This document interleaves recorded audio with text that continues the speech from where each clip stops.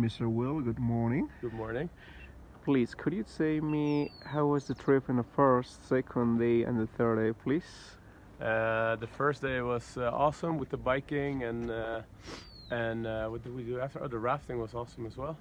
Uh, the second day was uh, very cool as well with the zip lining and then we did some hiking and we got a lot of stories about Machu Picchu and the history of Machu Picchu.